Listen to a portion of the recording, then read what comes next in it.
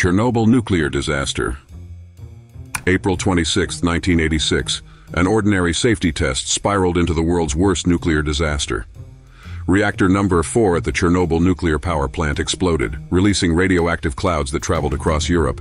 But how did one night transform history and leave scars on generations?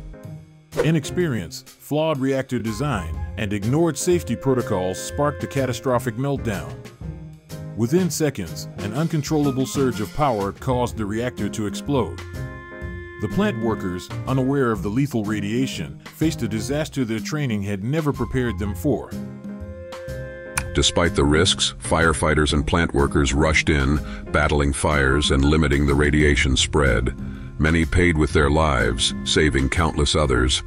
Their sacrifice turned tragedy into a testament to human courage, even when the odds seemed insurmountable. Chernobyl forced humanity to confront the risks of nuclear power. It highlighted accountability, the importance of transparency, and the devastating effects of human error.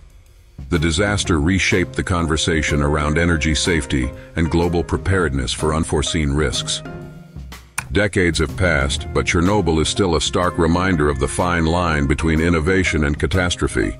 It challenges us to question how we ensure safety in advancing technology and protect the future from preventable tragedies. Reflect on the power of history to warn and inspire. Share this story and its lessons to keep the memories alive and remind the world Vigilance and responsibility can prevent history from repeating itself.